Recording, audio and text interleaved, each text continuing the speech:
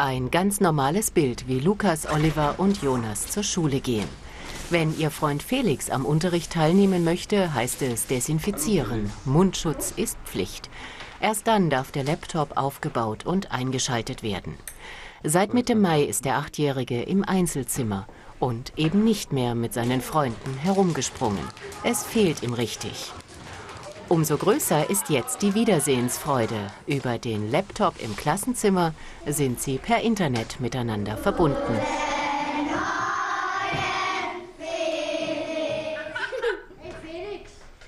So Felix, wir haben mitbekommen, dass du gestern Geburtstag hattest. Stimmt das? Ja.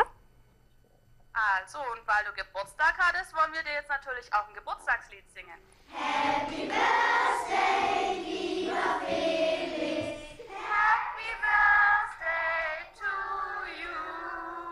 Möglich gemacht hat das der Verein Große Hilfe für kleine Helden, den Ralf Klenk gegründet hat.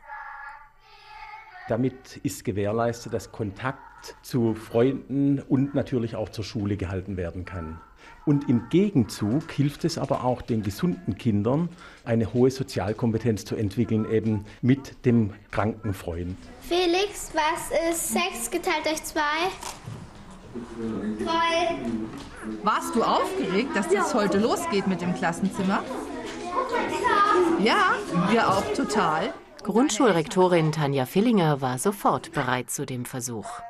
Uns geht es nicht um die Vermittlung des Schulstoffs, das machen die Kinderkliniken selber brillant vor Ort, sondern dass er im Prinzip bei uns ist, dass er die Brücke nicht verliert, dass wir ihn zum Lachen bringen können, er uns zum Lachen bringen kann und dass er weiß, was passiert hier und auch jederzeit wieder hineinkommen könnte in die Gruppe. Das wird aber vermutlich noch eine Weile dauern. Seine Schulsachen hat Felix im Krankenhaus dabei. Und so hat er neben Lesen, Malen und Musik hören wenigstens noch ein bisschen Abwechslung und kommt nicht ganz aus der Übung.